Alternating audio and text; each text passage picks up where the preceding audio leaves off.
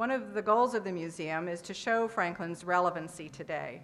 Franklin is like the best parts of Steve Jobs, Bill Clinton, Henry Kissinger, Ted Turner, Katharine Graham, and maybe Jon Stewart, all rolled into one.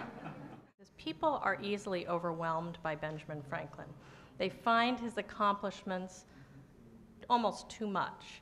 Um, and they come away from an, uh, an exhaustive and perhaps exhausting exhibition thinking, well, that's great, but I could, I could never be like that. And that's something we really hoped to change with this exhibit. We wanted it to be an exhibit where people could relate to him, where his relevance is felt, but also where they personally could feel they were closer to his genius, and maybe some of that genius was theirs too. So we decided to organize this exhibit in an entirely different way from almost any other biographical exhibit you're likely to meet up with. We decided to do it by, organize it by his character traits. So imagine the house that stood above us with large rooms around a central staircase. Well, these rooms are suggested by the five exhibition spaces representing five of Franklin's distinct character traits. In each of these spaces, visitors young and old will find something that will amuse, fascinate, inspire.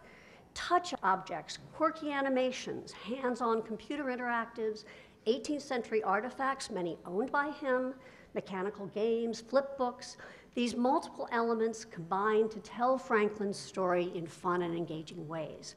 Meet the people in Franklin's households, a computer interactive with two large touchscreens that appear as portraits. Now don't miss Franklin's invention, the glass harmonica, and then try your hand at playing Yankee Doodle. Franklin's many pen names as you get to listen and watch the amusing animated stories. Franklin's own library, where he received visitors and continued to write his memoirs.